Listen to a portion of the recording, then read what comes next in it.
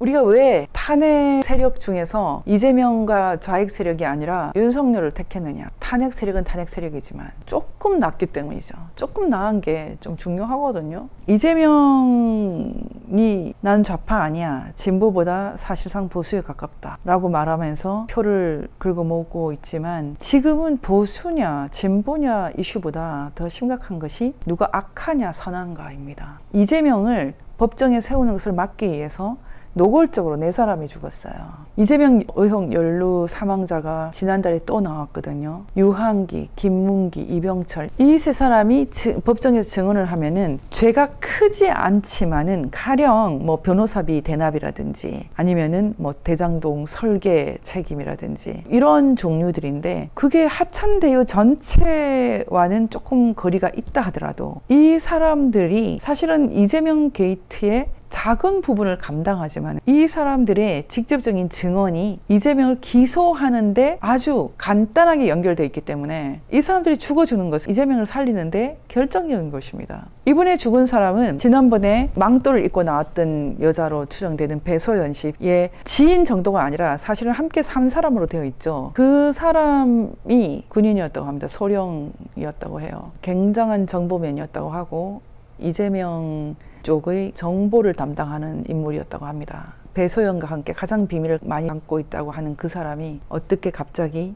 죽어줍니까? 이 네 사람의 죽음 위에 이재명이 지금 민주당 장악 눈앞에 두고 있죠. 정말 우리나라가 선과 악이 분별이 안 되는 선도 없고 악도 없는 나라가 됐습니까? 더 이상 아이들이 클 수 없는 나라가 되고 있습니까? 말 그대로 북한처럼 권력이면 만능인. 지금 민주당 뭐 하는 짓입니까? 지금 당원을 바꿔서 이재명이 기소가 돼도 당대표, 뭐 영원한 수령인가요? 겨우 그것이 부결됐는데 다시 또 올린다고 합니다. 재상정. 방탄 논란. 기소되면 당대표 내려놔야 되는 그 조항을 없애려고 하고 있는데 부끄러움이 없습니다. 지금 북한하고 똑같아요, 대한민국이. 무시무시한 시대입니다. 성과 악이 분별되지 않는 것, 그래도 우리가 극악은 안 된다라고 생각하는데 이 정치 세계에 최선이 존재하는 것은 누구나 아니라는 것 알고 있지만 그래도 신락 같은 선한 것에 대한 희망 이런 걸로 우리가 이 삶을 영위하고 더 나은 삶을 꿈꾸는데 선을 악이 이겨버리는 것은 곤란하지 않습니까? 저는 많은 사람들이 지금 민주당에서 압도적으로 이재명 민주당 대표를 지지한다고 하는데 정말 그 사람들은 유한기, 김문기, 이병철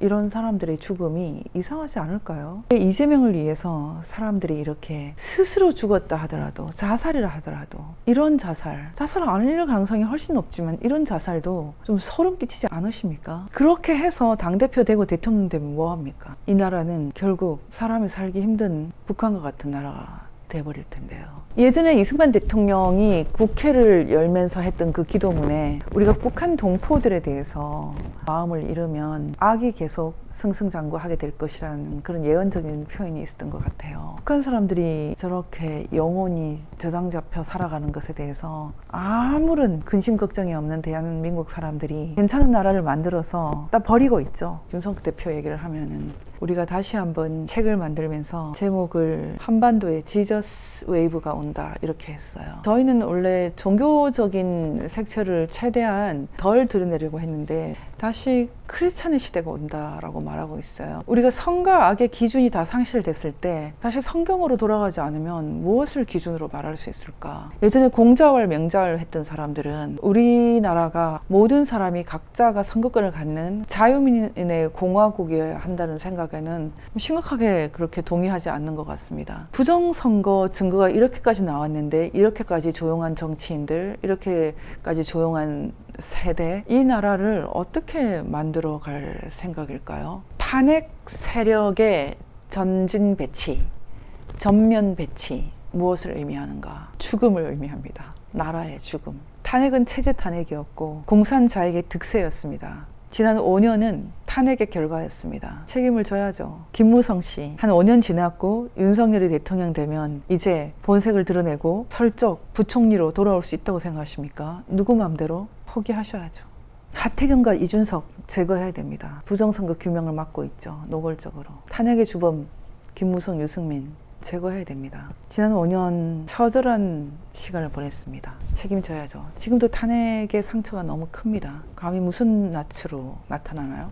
마지막 제가 오늘 side issue로 환율과 달러 문제를 제기했습니다. 많은 언론들의 태도가 지금 일어나고 있는 이 환율의 그 불안정성이라는 것은 사실은 국내적인 요인이 아니다라고 말하고 있거든요. 미국의 금리 정책과 맞물려 있다. 한국의 지금 경제 fundamental 기초는 튼튼하다. 이렇게 말하고 있어요. 역대로 1,300원대가 넘어섰다는 것은 경제 위기의 전조 현상이었어요. IMF 때도 그랬고 그리고 2001년 위기 때도 그랬고 2008년 어, 미국의 서브프라임 어, 모기지 사태 때도 그랬습니다. 1,300원이 주는 그 으슬으슬한 그런 느낌이 있는데 지금은 없습니까? 전 지금도 있습니다. 지금 1,300원을 상회하는 이 환율 위기라는 것은 우리한테 새로운 경고로 다가옵니다. 미국이란 나라가 강한 달러를 1970년대에 설계했던 달러의 가치를 담보했던 것은 석유입니다. 석유를 살 때는 무조건 달러로만 살 수 있다라는 그것을 힘으로 강제하면서 경화가 됐습니다. 군사력과 에너지와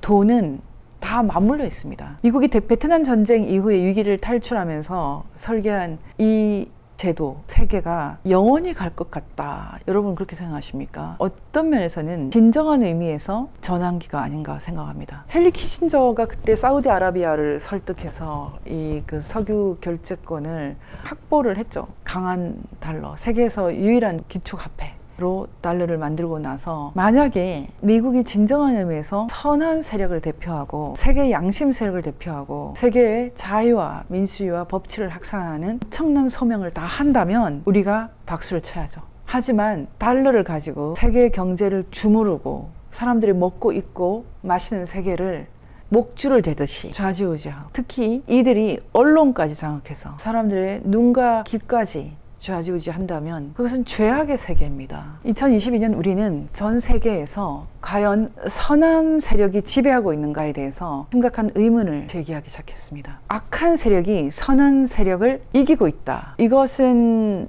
결국은 승부를 내는 과정으로 우리를 인도합니다. 저는 선한 세력, 양심 세력이 승리하도록 우리가 깨어 있어야 된다고 생각합니다. 선과 악의 기준이 다 무너지고 선과 악을 가르는 규범, 기준이 없다고 생각하지만 왜 없나요? 이것이 선하고 이것이 악하다. 그 기준이 정말 없습니까? 제가 가르쳐 드리죠. 성경입니다. 성경이 굳이 아니라고 생각하는 사람들, 그런 분들 은 예전에 칸트가 얘기했던 것처럼 내 속에서 울리는 도덕의 목소리를 들어보시면 되죠. 이 어두운 시대, 성과 악이 전도되는 이 시대에 인류가 축적해온 지성과 영성의 열매들을 다시 한번 확인하고 먹으면서 이 어두운 시대를 버텨나갔으면 좋겠습니다.